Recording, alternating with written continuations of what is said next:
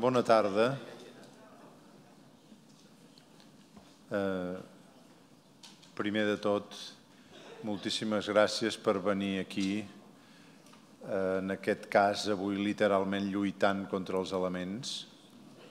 Eh, ens, fa, eh, ens fa un gust molt particular perquè eh, aquests diàlegs que ha vingut organitzant aquesta és la, és la tercera edició, Tamar, és la cinquena edició, mare de Déu. La eh, cinquena edició d'aquests diàlegs que, que representen una cosa, i crec que des, del, des de la primera representen una, una cosa de la qual la universitat eh, no n'és del tot conscient, que és de la seva missió de representar el, el que significa la cultura. La universitat és un lloc de la ciència, i, i és un lloc de la cultura. La ciència forma part de la cultura. La ciència, de fet, és la part negociable de la cultura, si eh, em permeteu una frivolitat ara. Mentre que després hi ha la part eh, absolutament insubornable de la cultura, aquella que no podem comprar de cap manera, que són totes les altres coses que no són ciència i que formen part de la cultura i que, i que ens integren a nosaltres probablement d'una manera més íntima i més forta que no pas l'activitat científica eh, mateixa. I aquests diàlegs, des de que van començar, crec que van despertar en la universitat aquesta dimensió que la universitat té, sens dubte, i que no acaba d'assumir eh, completament i des d'aleshores han aparegut una sèrie d'activitats en tot el nostre entorn, fins i tot en el grup, no només en la universitat, en el que anomem el grup, els centres adscrits, les altres institucions que en certa manera són a l'ombra de la universitat. Ha aparegut eh, aquesta mena de respecte que sembla nou però que era vell eh, i, que, i que ens fa ser més feliços, si es pot dir així, a la universitat i més tenint la sensació que som al nostre lloc. Eh, de manera que moltes gràcies, Tàmara, per organitzar-ho. Perdona que eh, t'hagi restat dos cursos en el teu haver. Eh, moltes gràcies a tots per ser, per ser aquí i ara li dono la paraula a la Tàmara immediatament. Tenim un extra avui abans de, abans de començar, eh, un extra musical i després el primer diàleg entre el Josep Ramoneda i el Santi Zavala, qui també aprofito per agrair eh, molt eh, la seva presència i la seva participació en aquest curs, juntament amb els músics que ja presentaràs tu, perquè no tinc el gust de conèixer-los, però em sembla que ens donaran una bona estoneta per començar. Moltes gràcies a tots. Bona tarda.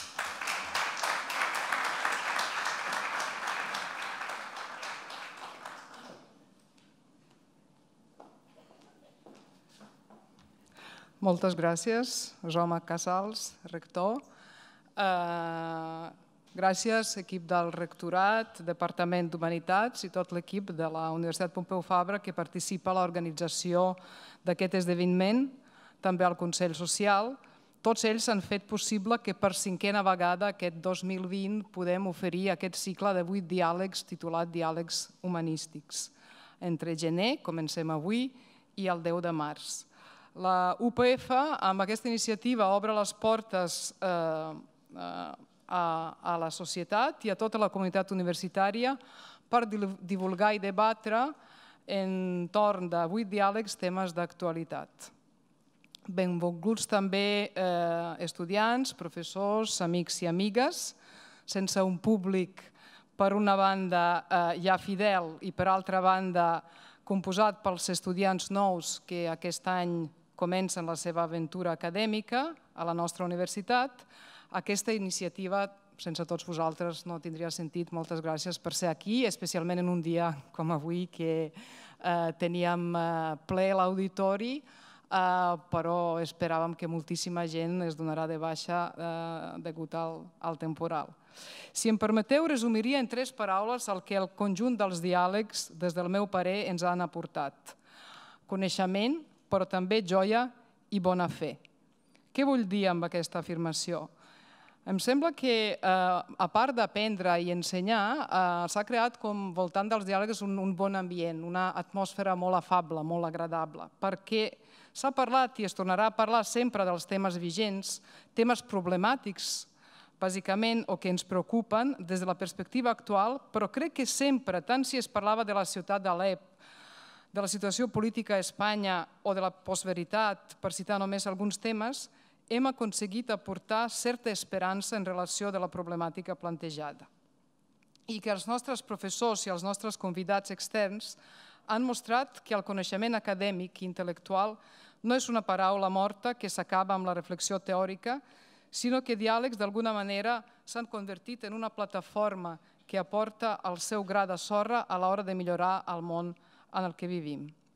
I és just aquesta reflexió la que pot introduir el diàleg inicial de l'edició 2020, que es titula Què és l'intel·lectual oi?, amb Josep Ramoneda, filòsof i periodista, director de la revista La Maleta de Portbou i de l'Escola Europea d'Humanitats de Barcelona, i Santiago Zavala, professor i crea de Filosofia Contemporània a la Facultat d'Humanitats de la nostra universitat. Agraeixo moltíssim el fet de que eh, han acceptat inaugurar aquest cicle dels diàlegs humanístics i eh, eh, començaré mm, citant una breu reflexió del llibre de Santiago Zavala que es titula Per què només l'art ens pot salvar?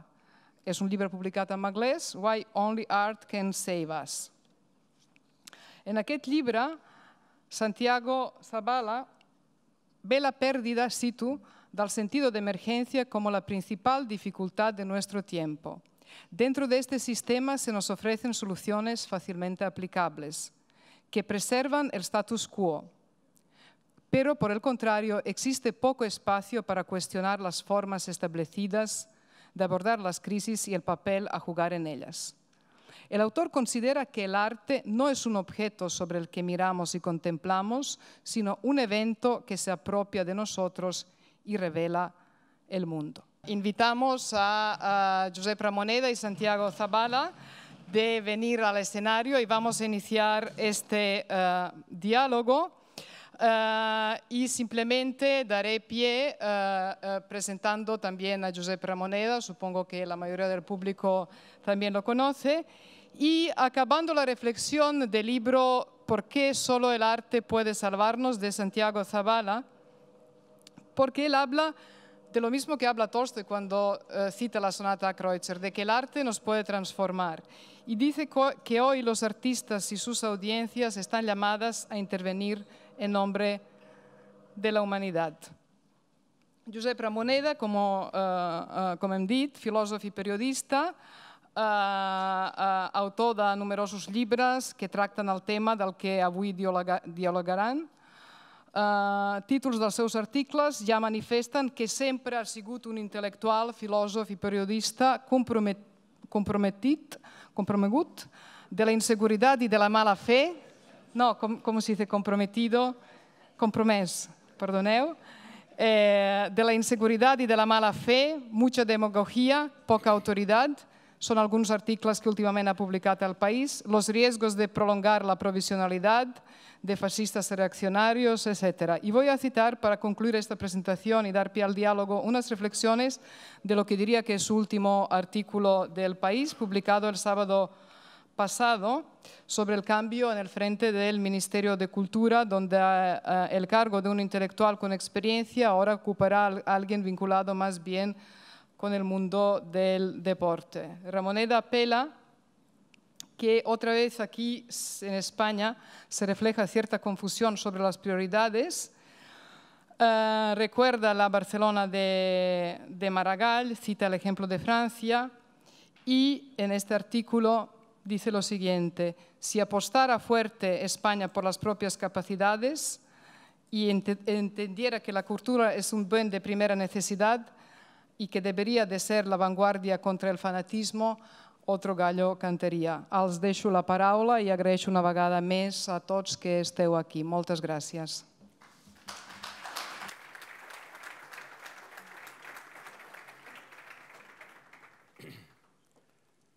Muy bien, pues uh, no se preocupen, no vamos a hacer una lista de quién es y quién no es intelectual. Um, no vamos a buscar hacer una decidir entre ustedes cuáles son intelectuales y cuáles no, uh, sino intent intentar uh, entender o ver qué, ah, qué, significa hoy el intelectual en general y, y si hay intelectuales todavía. creo que yo, me parece entre los dos, yo estoy más favorable, creo que hay todavía intelectuales, que es difícil ser un intelectual hoy. Creo que Josep tiene una opinión diferente, un poco diferente que la mía. La cuestión es que me parece que tanto el rol como la misma idea, el intelectual, es, ah, es de gran interés no solo para, para, el público, sino también desde el punto de vista de investigación, porque hablar del rol del intelectual es también un poco hablar de la sociedad, ah, de la política y también quizás de la verdad a un cierto punto, ah, si existe todavía. Eh, que, que el intelectual es un objeto de investigación interesante para saber qué tipo de calidad tenemos hoy, de calidad de sociedad o, de verdad en, sí. Eh, pensaba empezar por eh, dar algunas definiciones que ilustres intelectuales han dado de probablemente de sí mismos. Humberto Eco, por ejemplo, definía a los intelectuales como los que practican una actividad no manual acompañada de razón crítica y que produce nuevos conocimientos. Uh, Habermas, filósofo alemán que acaba de sacar a los 90 años dos volúmenes de filosofía muy grandes, um, decía en vez que el atributo fundamental del intelectual es el olfato vanguardista para las revelancias. Para él, el punto fundamental es detectar temas importantes, presentar tesis fértiles y ampliar el espectro de las cuestiones relevantes con el fin de mejorar el deplorable nivel de los debates públicos, que decir que él los podía mejorar probablemente. Y última definición, que es la que creo que es más, la que tiene más que ver con lo que vamos a hablar hoy, es la de Chomsky, que es muy simple, que Chomsky directamente hablaba de la responsabilidad del intelectual. La responsabilidad intelectual es la de ah, decir la verdad y sobre todo de revelar el engaño en alguna forma. Ahora, eh, esta función del intelectual clásico en realidad, de, decir la verdad al poder, pues estos, estos últimos años me parece que los whistleblowers, Edward Snowden, Assange, um, Christopher Willy, lo han hecho muy bien, nos han demostrado la verdad, nos han dicho los hechos en sí, han dicho la verdad. Naturalmente es curioso, y ahí es donde empieza a acentuarse la idea de que no hay intelectuales, es que nada ha cambiado gracias a estas verdades, absolutamente nada. Y entonces esto es una cuestión de que quizás esta es una indicación que faltan más intérpretes, faltan más intelectuales. Uh, por tanto, hay que preguntarse si la verdad que los intelectuales enunciaban al público, y la pregunta en parte que hago a Josep, ha, ha sido absorbida por los whistleblowers o directamente en términos más generales por las plataformas digitales? Ah, es un tema que mm, eh, me parece siempre difícil de, concretar y de precisar por una ah, razón muy sencilla, porque creo que el concepto intelectual es un concepto muy marcado por coyunturas históricas muy concretas y diría más todavía. Eh, en el fondo, mm, el concepto de intelectual es un concepto heredero mm, de la cultura francesa y su capacidad para vender gadgets mm, al mundo y de esta forma eh, tener una potencia y una presencia mucho mayor de la que normalmente los correspondería. En esto son maestros. Eh, para poner un ejemplo muy sabido, en el año 68 pasaron cosas muy importantes en el mundo y todos cuando hablamos del 68 decimos mayo 68. Es decir, un mes y medio en Francia valió por la Plaza de las Tres Culturas, por todo lo que pasó en Estados Unidos en aquel año, por todo lo que pasó en Polonia, por todo lo que pasó, pasó en Praga, y etcétera, etcétera. Una capacidad especial de ser que va ligada a esta tradición de la figura del intelectual.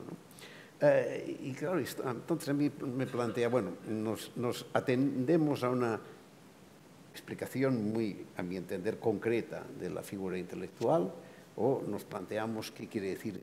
Pero a partir de aquí tampoco tiene límites, porque mm, eh, cada vez son más la gente que fundamentalmente invierte en sus trabajos en el intelecto, digamos. Eh, pero sí, a mí, mm, si, si, voy a esta reflexión, Eh, no sé, déjame empezar por una anécdota. A mí me sorprendió una vez, entrevistando con mi amigo José Martí Gómez a Graham Greene en su casa de Antibes, al terminar la entrevista, era temprano, Graham Greene tenía una manera muy particular de, trabajar, trabajaba todos los días solo de 8 a 10 de la mañana y eh, escribía las dos o tres páginas que le salían, dejaba siempre una frase abierta y al día siguiente continuaba. Y a las 10 de la mañana ya te recibía con una copa de, ginebra en la mano. Eh, hicimos la entrevista con la copa de ginebra en la mano y al acabar la entrevista eh, estábamos allí sentados y vi que tenía sobre la mesa la democracia en América de Tocqueville. Y mm, para abrir un poco la conversación le hice algún comentario. Me mira y me dice, mm, no sé, no tengo nada que decirle. Yo mm, no soy un intelectual, soy un escritor. Cualquier escritor francés me hubiese lanzado una, parrafada de, igual de 15 minutos. ¿no? Eh, Graham no. Es decir, me parece que hay una cierta diferencia entre la cultura francesa y las otras en este sentido. Y bueno, Francia son estas cosas, yo creo que tiene un poco que ver con la transferencia de lo teológico político a la modernidad. Eh, la figura del intelectual republicano, que es una figura muy excepcional y que en la historia de Francia hay cinco o seis que merezcan el, el título máximo, después hay muchos que les acompañan, no es tan distinta de una sustitución laica de, cuando el, cura en, el púlpito el domingo era la única voz casi que se oía en la escena, social, en la escena comunitaria. Y bueno, sí, es esta figura que, en Francia, pues, por lo menos tiene cinco o seis grandes eh, intelectuales de la nación, Voltaire, eh, Victor Hugo, por encima de todos, eh, Émile Zola, Anatole France, quizás Roland Roland, Jean-Paul Sartre. Creo que aquí empieza a terminar, a acabarse ya. Eh, eh, ¿Por qué se acaba? Y probablemente a partir de aquí se ha mimetizado, eh, y especialmente en el horizonte europeo, no estoy tan seguro que en el americano, aunque es verdad que hay algunos, algunos restos de esta imagen de, de el intelectual comprometido, este, se encuentran en, Estados Unidos, como es el caso de Chomsky. Em, pero a partir de aquí, yo me pregunto tiene recorrido todavía esta, eh, figura y, tengo la sensación mm, de que eh, es muy dependiente, es muy dependiente de un periodo determinado eh, de los medios de comunicación. Es decir, es muy dependiente del momento en que quien establecía digamos, la opinión pública era la prensa escrita. Para mí el intelectual comprometido a la francesa es un personaje para la prensa escrita. Eh, cuando aparece la radio, mm, la cosa empieza ya a complicarse. Lo que pasa es que la radio tiene una ventaja, que es la radio va a la oreja. Y en la radio la gente eh, escucha, la televisión mira, en la radio escucha. La radio es un medio caliente, la televisión es un medio frío. Tengo la sensación de que el punto mm, de, lenta o definitiva desaparición de la figura es la televisión. Porque mm, la televisión, el intelectual quedaba expuesto a unos debates más incontrolados. Y a veces pues, eh, ocurría que cualquier persona mínimamente ingeniosa decía cosas más mm, atractivas interesantes eh, para el público que el consagrado intelectual de turno. Y esto hizo que hubiese un alejamiento, un distanciamiento. Y ahora entramos en otra fase de mucha más difícil, eh, eh, digamos, mm, precisión y en la que creo que ya está esta figura bastante desvanecida, que es la fase de, la comunicación digital. ¿no? Eh, un territorio en que del que se pueden esperar todas las promesas y a, su vez todos los peligros. Pero es que todo esto va acompañado de otros procesos, acompañado de un proceso de em, eh, extensión de la formación de gran parte de la ciudadanía. El número de universitarios actuales eh, no tiene comparación con el número de universitarios que había en la época de, de Sartre. Por tanto, sí, como que eran menos, también eran menos los que destacaban y por tanto algunos eran algunos muy significativos. Ahora hay tantos es más difícil que haya eh, figuras únicas o casi únicas, diferenciables. Eh, otra cosa, los, mecanismos, digamos, de valoración y legitimación de la figura del intelectual. Eh, no es lo mismo en el terreno de estos, digamos, especialistas en generalidades, que son en parte los filósofos y en parte los periodistas, que cuando hay unos sistemas muy eh, organizados del saber, eh, con unos criterios de, valoración y de objetivación. Por eso, por eso los científicos habían quedado siempre relativamente alejados de esta figura del intelectual. Por eso y por ciertos prejuicios por esta barrera entre ciencias y humanidades difícil de superar. ¿no? Eh, Jorge Wagensberg decía siempre, cultura menos ciencias igual a humanidades.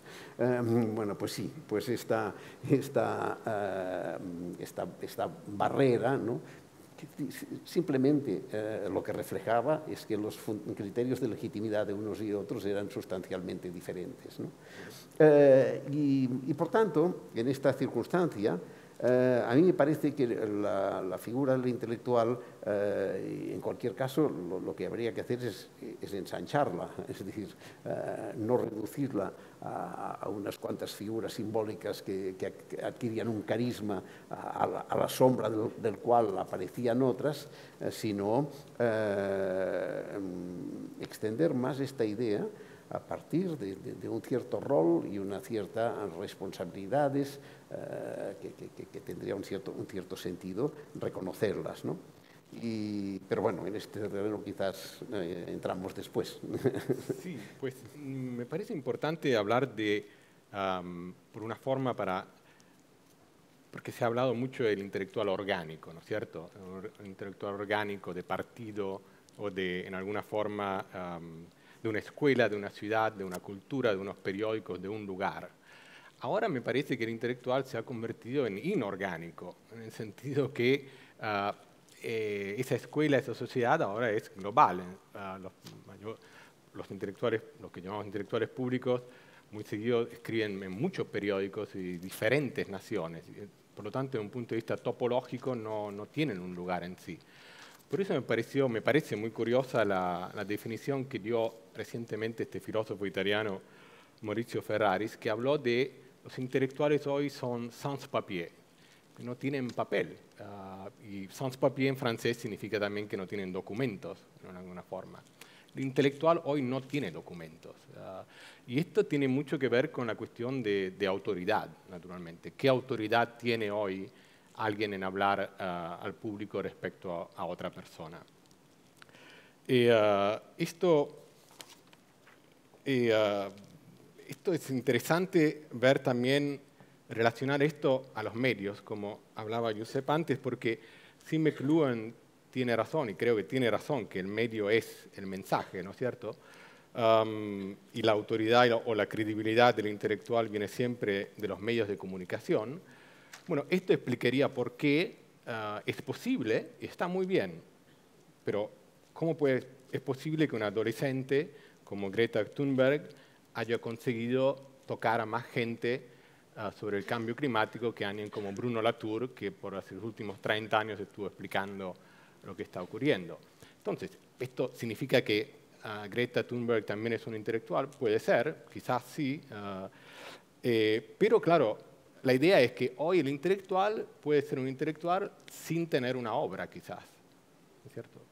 Ah, también una cuestión muy de oportunidad y saber escuchar el acontecimiento, que, ah, el acontecimiento que hay. Por eso, una de las cosas que yo me preguntaba hoy es ah, cómo, cómo se convierte alguien en un intelectual, si, hay algún manual, si hay alguna... ¿qué, ¿Qué nos lleva a ser intelectuales o a tener algo que decir al público en una forma diferente o mejor que los otros. esto tiene mucho que ver con las oportunidades que se pueden dar, creo, y con las provocaciones que pueden hacer los intelectuales, y que siempre hicieron, porque al final siempre fueron unas provocaciones también, para sacudir el público en alguna forma. Ah, creo que el juicio a Eichmann, que Anna Arendt tuvo que seguir para The New Yorker, es un buen ejemplo. Ah, la revolución iraní para Foucault, que fue corresponsable del Corriere della Sera.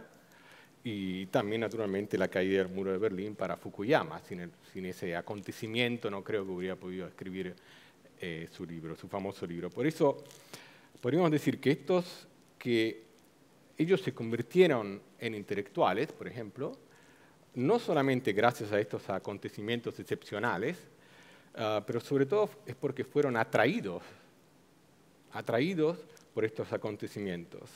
Um, Edward Said, en parte ha respuesto a esta pregunta, cómo, qué tiene que hacer el intelectual o en qué condición tiene que encontrarse para ser intelectual.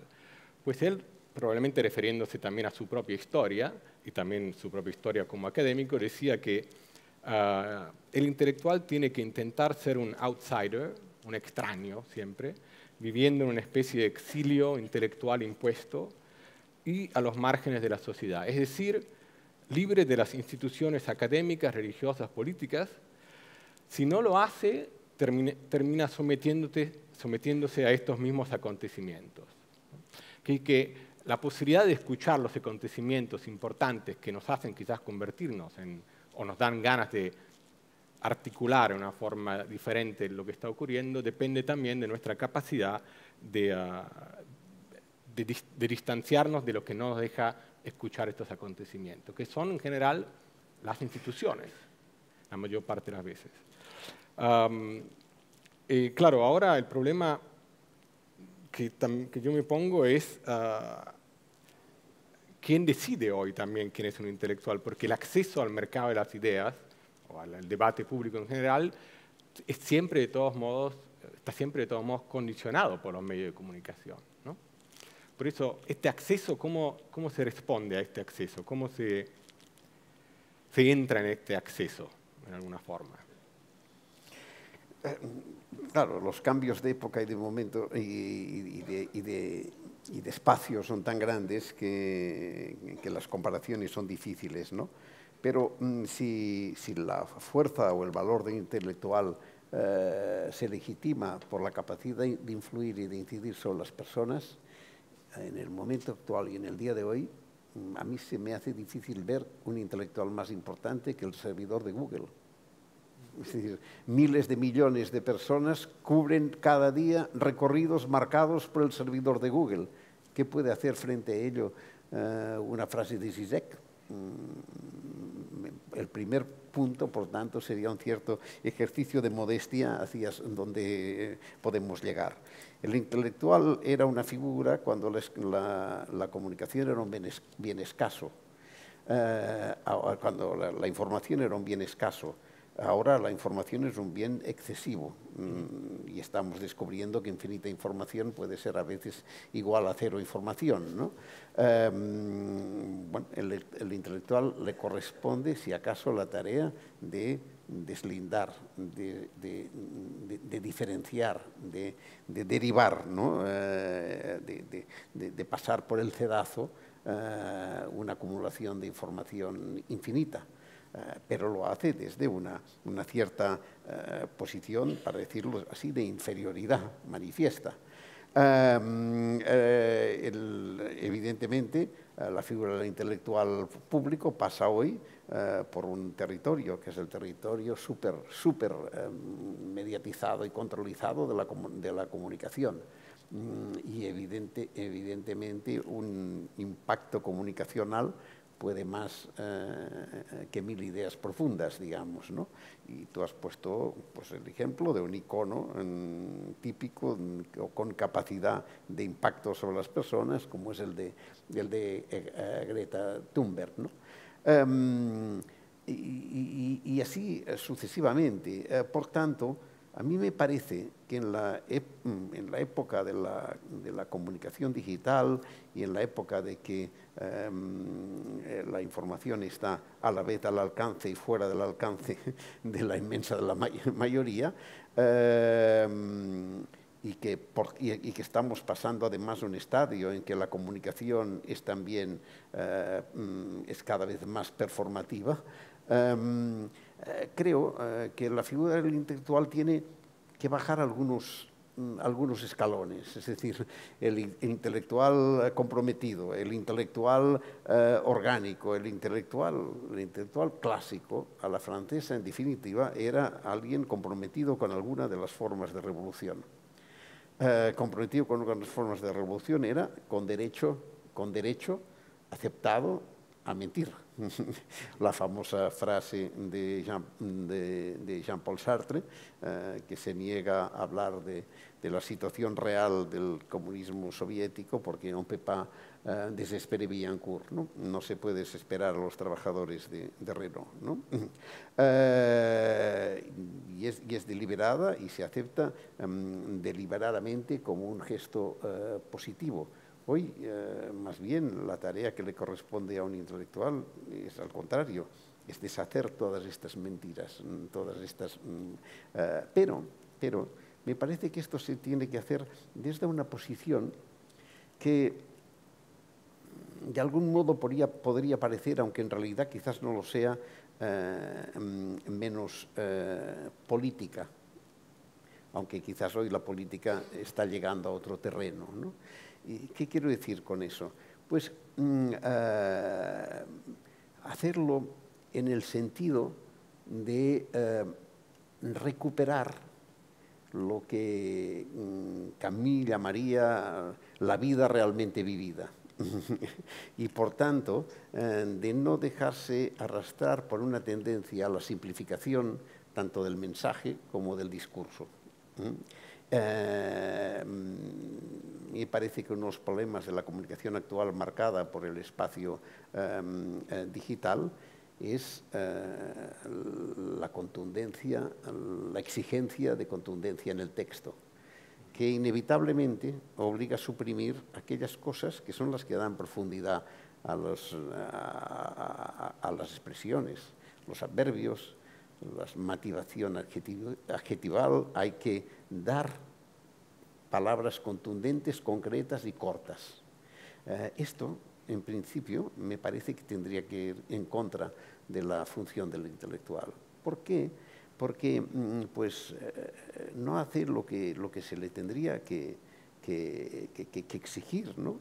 que, es eh, ser capaz, como Proust, de ver la realidad con otros ojos esto es en el fondo lo que tendría sentido eh, de un intelectual. Y es por aquí que la figura del intelectual puede reconstruirse. Y es por aquí que puede extenderse a un espacio eh, menos reducido a los eh, especialistas en, generalidades y más extenso en, en, lugares y disciplinas diferentes. Yo creo que en los momentos actuales, si algo puede aportar al papel de intelectual en, el sentido este, de dar complejidad la experiencia humana, de mm, volver, volver a dar eh, a la vida humana los tiempos eh, que las cosas necesitan, el tiempo de pensar, el tiempo de, aburrirse, el tiempo em, de conversar, el tiempo de amar, el tiempo de pasear, todos estos tiempos eh, todo esto em, podría, que contribuiría seguramente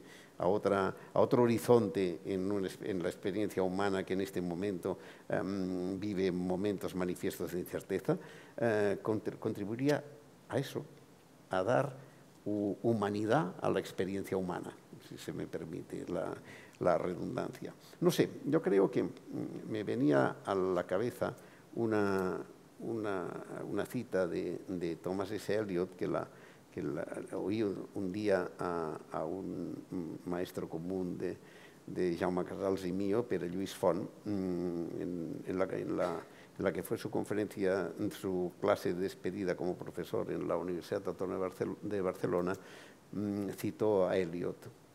On és la saviesa que hem perdut en el coneixement? On és el coneixement que hem perdut en la informació? Me parece que en esta encrucijada es donde se debería situar la figura del intelectual. Sí, eh, yo me pregunto aquí eh, el problema eh, del peligro, porque Tamara mencionó antes la emergencia, que es un tema que yo me ocupo, y creo que un problema grande que hay ahora para los intelectuales y también quizás para los escritores en general es la cuestión de ah, la disponibilidad que uno puede tener a arriesgarse. Ah, porque en alguna forma, y esto se ve muy bien, un buen ejemplo de esto es con la cuestión del cambio climático. Es muy difícil encontrar un científico ah, que, que, para hacer bien, al final un científico que se ocupa del cambio climático, como se ocupa también esta universidad, va a terminar en, en, a un cierto punto por ser detenido alguna manifestación. Esto ha ocurrido tanto a Naomi Klein como a James Hansen o tantos otros también um, uh, activistas, pues, que en cierto modo también intelectuales, me parece. Que, hay una cuestión, me parece, de, uh, de arriesgarse y también de qué carácter tiene que tener el intelectual, porque tengo la sensación que el intelectual no puede caer simpático, no puede ser una persona puede tener una, aura particular, pero muy simpático no puede caer porque por definición tiene que haber ahí un antagonismo respecto al poder vigente que hay. Sin eso no hay esa provocación o esa ruptura con la narración predominante que puede haber en, cierto lugar o en cierto otro. por lo tanto, eh, esta, también me parece que no, no faltan intelectuales hoy, porque Owen Jones me parece un periodista que es un intelectual, sin duda. y también, naturalmente, como ya mencionaba Naomi Klein. Por eso esta cuestión del tiempo, sí, naturalmente, el tiempo es fundamental, el tiempo que nos pueden los intelectuales obligar a, buscar también en alguna forma. yo aquí siempre tengo el problema con los libros. Los libros que ahora tantos editores quieren que los libros sean lo más pequeños posibles, sean todos pequeños uh, manifiestos. Uh, y a veces efectivamente funciona, pero también hoy funcionan los libros de 2.000 páginas, como el nuevo libro de Thomas Piketty, o la última novela de James de Fraser. me parece que el tiempo, si lo queremos, lo podemos, lo podemos usar todavía. no sé hasta qué punto el intelectual nos va, nos va a facilitar esto. No sé, déjame insistir en, la que, en, la, que, para mí es la idea central de la cuestión, ¿no? con, con, una, mm, con, una, cita de Amartya Sen, porque me parece importante demostrar que los economistas, en fin, no es nada nuevo. Ah, lo que dice Amartya Sen no es tan distinto de lo que podían haber, mm, dicho muchos, clásicos, eh, tanto del liberalismo como de otras eh, posiciones económicas. ¿no? Pero mm, Amartya Sen dice, numerosas son las teorías económicas y sociales contemporáneas en las que los seres humanos son considerados como estrictos maximizadores de un interés personal estrictamente definido. Este modelo de seres humanos no solo es deprimente y preocupante, sino que hay muy pocos datos que confirmen que sea una buena representación de la realidad. Los individuos están influenciados no solo por la percepción de sus propios intereses, sino también como ha demostrado Hirschman, por, por sus pasiones. Bueno, a mí es aquí donde me interesa el papel del intelectual. Eh, ahora bien, según cómo analicemos el intelectual, eh, el intelectual puede ser eh, Stephen Pinker, legitimador de, que, vivimos en el mejor de los mundos posibles, o Amartya Sen, que es una eh, persona que se posiciona, como vemos, intentando introducir complejidad a las simplificaciones del mundo presente. Por tanto, la figura intelectual mm, de por sí no, garantiza ni, el saber, ni la virtud, ni la verdad. Eh, la figura intelectual, bueno, mm, representa o juega un papel en un momento determinado. Y esto, mm, a, mi parecer, se veía claramente en los eh, ejemplos que tú ponías, porque mm, eh, siempre he intentado buscar la referencia intelectual en personas de máxima solvencia en este terreno y sin discutir los méritos indudables de Owen Jones o de Naomi Klein eh, pues mm, hay mucha gente que ha abierto muchas más puertas y, ha enseñado muchas más miradas nuevas.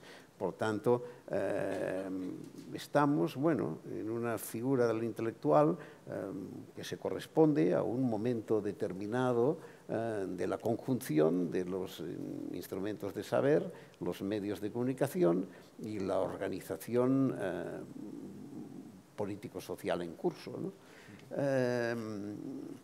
Eh, es, por eso eh, mi cierto escepticismo eh, sobre la figura del intelectual. ¿Es Michel Foucault ¿Era Michel Foucault un intelectual? Pues no tuvo la aureola como tal de otros de su época y en cambio para mí es uno de los pensadores que, más, que más han cambiado la comprensión del mundo. Eh, hay, hay, hay, un sistema de producción de, del espectáculo de, la comunicación y de la creación de opinión pública que tiene sus reglas y que determina eh, sus estrellas, para decirlo así. ¿no? Em, pero es sustancialmente distinto del momento en que se configuró esta especie de figura del intelectual eh, que a mí me parece que está eh, bastante, bastante agotada en el momento actual. No sé. Sí, el buen juicio, el buen juicio político como decía Anna Arendt, no está necesariamente asociado a la capacidad intelectual ah, o el éxito académico. Eh, el problema es que Richard Rorty insistía mucho que había que los filósofos tenían que tener dos, tenían que ser dobles, tenían que ser por un lado académicos y escribir sus textos académicos y por el otro lado escribir en los periódicos, tenían que hacerlo, era una especie de obligación, una responsabilidad intelectual ah, del filósofo eso me parece que sea una cosa que, ah, que los filósofos contemporáneos, o algunos de mis colegas, no voy a decir cuáles, se han olvidado de eso. Es decir, que hay algunas disciplinas, también la filosofía, que se ha, perdido un poquito en esta especialización. Ah, y justamente la filosofía tendría que ser una de las, creo, una de las, ah, una de las disciplinas que más fácilmente nos aportaría, nos llevaría a, esta, a, buscar este big picture que falta hoy. Sí, yo, Michel Foucault, tampoco me parece que eh, era particularmente simpático, particularmente querido por el poder, ah, en el sentido que era bastante antagonista él también, me parece. Por eso, esta, eh, no, no, quiero decir... Mm, Owen Jones parece en vez mucho más simpático, mucho más accesible, pero de todos modos ah, veo que hay un activismo ahí también en Owen Jones que es, es muy, muy... Ah, no diría violento, pero lo podría ser también. Ah, eh, aquí hay una cuestión de, también de debate entre los intelectuales que no hemos tocado, me parece. Hay una falta de debate.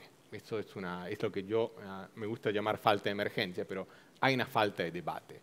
Hay una falta de debate entre los intelectuales también. Y este, esta, este, esta ausencia de conflicto, en cierta forma, es algo particularmente negativo para la democracia y creo que los intelectuales necesitan debatir más, quizás, o tiene que haber alguna posibilidad de debatir más.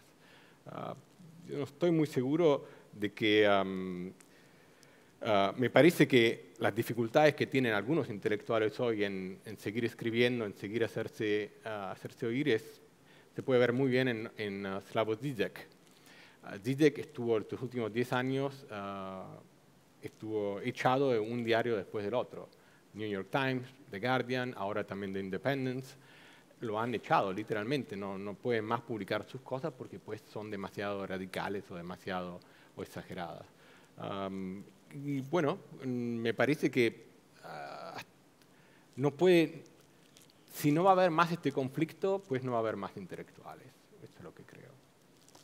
Em, yo, mm, e, evidentemente, eh, la filosofía eh, tiene un privilegio que es para mí lo que le hace singular y especialmente atractiva, mm, si dejamos de lado este territorio apache que para mí es la filosofía analítica. Em, la filosofía, filosofía, em, eh, tiene un, atractivo excepcional.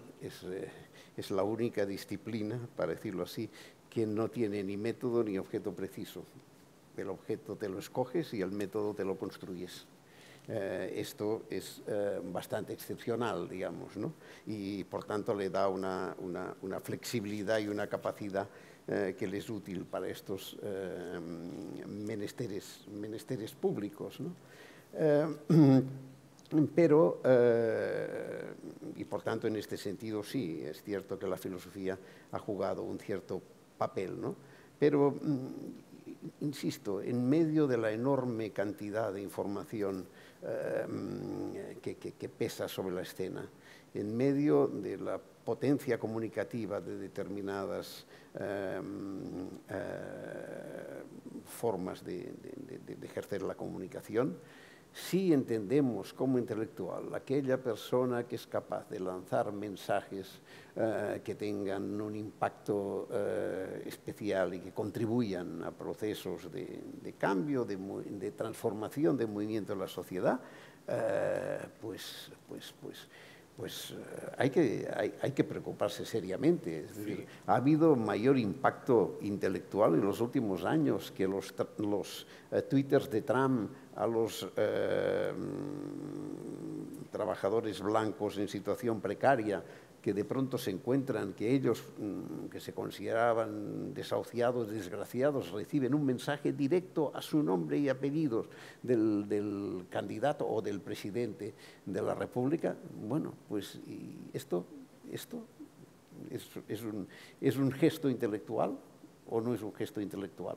No, esta, esta, es la realidad de la, de situación en la que vivimos. ¿no? Y por tanto, mm, por eso mi defensa de una especie, no sé si decir repliegue, mm, repliegue en la ampliación, es repliegue en el territorio em, que queda debajo eh, de las corrientes eh, que, se imponen en el hipercapitalismo de la globalización. ¿Y, esto qué es para mí? Pues esto es la, la, complejidad, la complejidad eh, del ser humano. Y en este sentido sería mucho más camusiano que, que sartriano, mm, tantos años después. Sí, pues porque hace unos, hace unos meses nuestro colega Fernando Valespín publicó un artículo en El País donde decía que más que Twitter, decía que la aparición, que más que la aparición de los expertos o el fin del monopolio de los medios de comunicación, son los tertulianos los que han ah, arruinado el intelectual. Ah, es decir, que son ellos los que han dado la puntilla a los intelectuales, han sido ellos los que ah, son capaces por su dinámica del invento y de improvisar el análisis y el pensamiento rápido yo no, no, no, estoy para nada de acuerdo con, con Valespín y, uh, porque me parece que, pues, bueno, no creo que... Porque aquí una cuestión es Trump que envía los tweets y que lo, lo reciben todos, lo recibimos nosotros. Otra, probablemente pronto también nosotros lo recibimos. y otra cosa es naturalmente el, el, rol del intelectual que tiene que interpretar esta situación. Ahora, la condición entonces es deplorable, es un problema, hay, hay una falta de conflicto, hay una falta de de debate público uh, sobre estas cuestiones. ¿La culpa es del intelectual o es de los medios de comunicación, ya que el 80% de nuestras comunicaciones pasan solamente por Google? No sé, yo veo aquí una falta de conflicto, una falta de emergencia, una falta de pluralidad dentro de los medios de comunicación porque justamente hay un problema aquí de acceso. Ahora, eh, a mí me parece que, esto es otra pregunta, digamos, en parte para ti, cuánto importantes son, cuánto significativos son todavía ahora los medios de comunicación que siguen teniendo una, cierta importancia o autoridad. New York Times, The Guardian, El País quizás, y algunos otros que todavía logran tener esta fuerza. Pues siguen siendo muy importantes, porque ah, las revelaciones de los whistleblowers que mencioné antes no habrían tenido el peso que tuvieron si no hubiera sido gracias a estos periódicos si uno ve bien cuándo salieron, salieron a través de los periódicos estos. Por lo tanto, ¿siguen teniendo el periódico o no sigue teniendo los, estos, estos importantes periódicos? Ah, ¿No pueden ayudar ellos todavía, digamos, en alguna forma quizás también a los intelectuales. Lo de los tertulianos de Fernando me parece anecdótico. En fin, él conoce bien el medio porque ha participado, en, lleva mucho tiempo participando en tertulias, como, como yo he participado y participo también en las de la SER. Pero me parece mm, que es darle un punto de excesiva importancia. Eh, si, si, solo fuera, si, si la figura de la intelectual es tan débil como para que las, las tertulias se la hayan cargado, es que realmente era muy débil, digamos eh, tengo la sensación de que tiene que haber bastante más em, eh, que eso, ¿no? por tanto, en este, en este sentido, me parece una explicación un poco suficiente. Sí que es verdad, sí que es verdad mm, que a pesar de todo y a pesar del poder de, los medios eh, de comunicación digitales, eh, siguen teniendo una cierta autoridad los medios de, comunicación escritos y que mm, los grandes escándalos para producir consecuencias, por ejemplo, para tumbar gobiernos, para poner, em, tienen que tienen que saltar todavía a los grandes, si no llegan a los grandes medios de comunicación, difícilmente es que tendrán un efecto contundente. ¿eh? Eh, claro, si son contundentes, acaban llegando. ¿eh? pero sí que es verdad que todavía hay un cierto reconocimiento, que todavía, pues, el New York Times o el Financial Times o el Economist o Le Monde juegan un, papel y tienen una, cierta, una cierta relevancia. Eh, pero mm, tengo la sensación de que es una cierta relevancia que transcurre en un espacio relativamente concreto, que es el espacio de las élites económicas, políticas y comunicacionales y, que por tanto, por tanto, mm, esto tiene otro, otro, otra vertiente, eh, que es em, la, distancia eh, creciente entre eh, la, inmensa mayoría de la mm, población y las élites que, que, pretenden construir y determinar los discursos. Y en buena parte aquí está el malestar y la desconfianza Mm, que, en estos momentos eh, eh, caracteriza la, crisis de las democracias liberales eh, en, el momento presente. Em, y hay mucho, hay mucho malestar en la calle, y los estos medios clásicos y tradicionales siguen vendiendo cada día menos. o sea que algún desajuste hay en este, en este territorio. Y entonces, claro, la pregunta es quién, quién lo ocupa este desajuste y quién es el que tiene la capacidad para reordenar. Eh, yo recuerdo siempre, y, en fin, sin, pretender ser eh, catastrofista.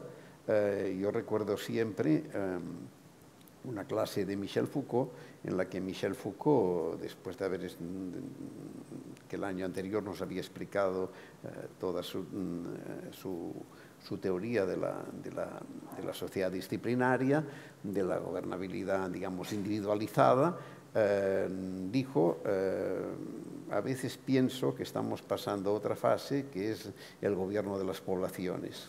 Y el gobierno de las poblaciones es la creación de un medio, un medio, un medio de cultivo, eh, en que puede llegar un momento en que ya no sea necesario ejercer un control singular para que los ciudadanos ya, salgan debidamente formateados.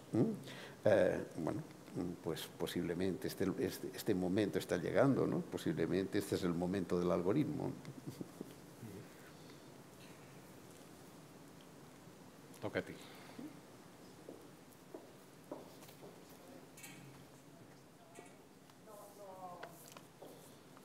públic que había vingut eh, sabe que no acaba aquí el diálogo, sino que yo al final subo para hacer una pregunta a los dos y bueno, si, no, si había más temas, eh, pues podéis seguir hablando. Eh, yo estaba escuchando y me he acordado de una anécdota que, así, que había olvidado por completo en la inauguración del curso cuando yo empecé a estudiar en la universidad.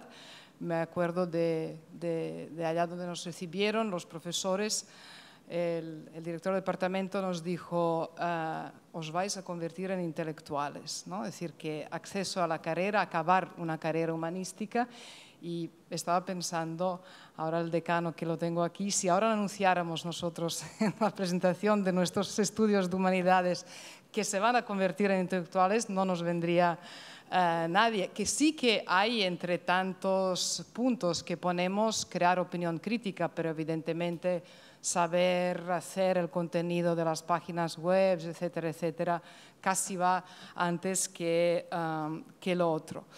Eh, también me acordaba del concepto de policía de la inteligencia que había, uh, de la que había hablado Eugenio Trías en su libro Cansancio de, uh, de Occidente, ¿no? de este concepto, bueno, de esta, de esta realidad de, de intelectuales, digo entre comillas desde mi punto de vista, oficiales leales, pues por ejemplo al poder político, es decir, que dicen aquello que pues, el poder político quiere escuchar y que en realidad no son uh, uh, intelectuales comprometidos. Y la pregunta que quería hacer, o también me acordaba del concepto de la inteligencia ¿no? en Rusia, que en el siglo XIX, cuando, cuando nace y cuando, cuando crece y florece, en realidad siempre implica que alguien que reflexiona y escribe y tiene una actitud crítica de algún modo, tiene que estar preparado o quiere eh, eh, eh, reformar, participar en cambiar el estado de las cosas en la, en la, sociedad, pues concretamente era el absolutismo zarista en Rusia de entonces.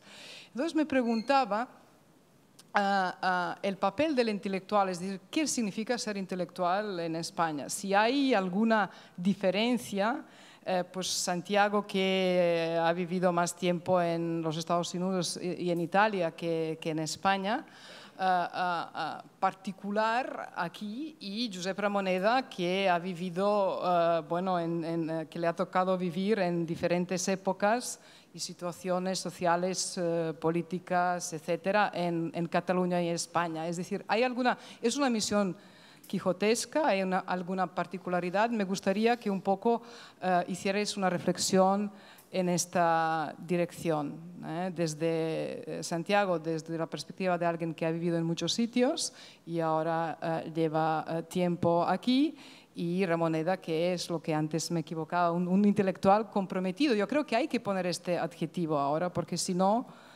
um, creo, desde mi punto de vista, no se entiende exactamente lo que se quiere decir con esto, porque con el concepto de, comunicador, blogger, influencer, etcétera, ya casi se ha perdido ¿no?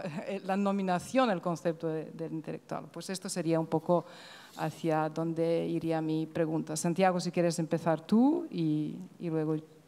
Bueno, pues... Em, bueno, yo, mi actividad de, de escribir en los periódicos es muy simple, se reduce a sobre todo escribir en periódicos que no son de aquí, es decir, Al Jazeera, New York Times, The Guardian, uh, La Stampa en Italia a veces, uh, y todo esto significa que, como decía Mauricio Ferrari, quizás soy un sans papier, porque no tengo un lugar único donde, donde, uh, donde escribo. Um, esto tiene probablemente que ver con el hecho que yo escribo en inglés también, o solamente en inglés. creo que también esto es una cuestión de que eh, la cuestión de papel y de escribir online, porque estos de todos modos, estos son las páginas digitales de los periódicos, por eso la diferencia no es tan grande, pero lo es, porque al final ah, un periódico que no está online no creo que tenga ninguna posibilidad hoy de, de emerger. Y hasta supongo, tengo, me imagino que los lectores, como todos nosotros, de los artículos de Josep en el país lo leemos más online hoy que en papel probablemente. Ah, para mí la actividad esta es una cuestión de uh, encontrar la más diferentes, los, los, periódicos de lugares más diferentes posibles. Ah, me parece que esa es lo que, en esa forma yo voy, mi mensaje va en alguna forma a funcionar mejor, pero esto también creo que tiene que ver derecho que, pues, que viví en tantos diferentes lugares. Um, yo creo que en el caso español la figura del intelectual, por lo menos en los tiempos, eh, digamos, de, de, posguerra que, yo he vivido, eh, eh, ha ido mm, siempre bastante a remolque de las modas foráneas. ¿no?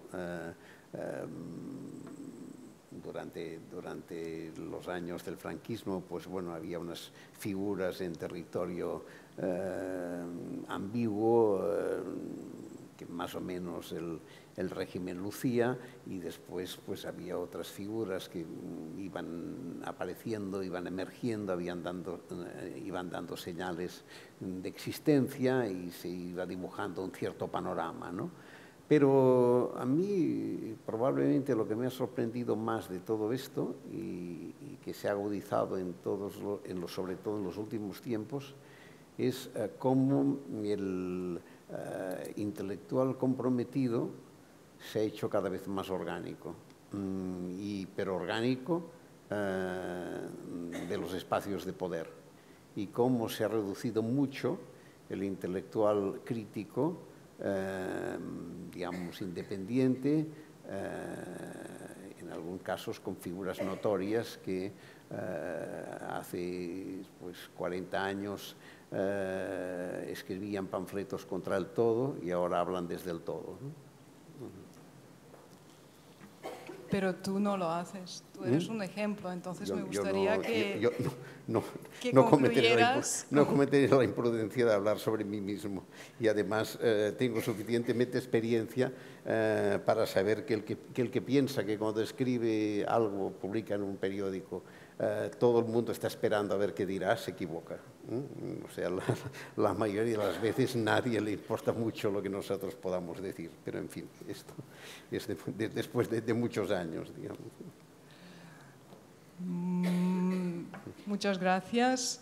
Molt bé. Bueno, creo que con esta última reflexión podemos agradecer, dar por concluido este diálogo. Sentirem una peça d'una sonata de Beethoven interpretada per al duo Voronkov amb la violinista Ala Voronkova i el mestre Gerasim Voronkov, professor de la Universitat Nacional de Colòmbia, director d'orquestra i músic. Així també nosaltres celebrant, celebrem l'aniversari de Beethoven, que és aquest any 2020, i després iniciem el diàleg que continuaré presentant en un minut quan acabi eh, aquest, aquesta petita interpretació que durarà uns pocs minuts. Moltes gràcies a la Voronkova eh, i, i Gerasim Voronkov, doncs eh, els convido a sortir ara a l'escenari.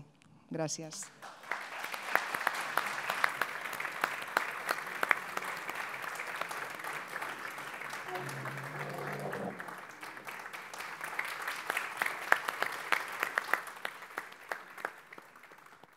Interpretaran la sonata número 8 en sol mayor, opus 30, número 3, la peça Allegro Vivace i sonata número 9, denominada Kreutzer, Adagio Sostenuto, el primer presto.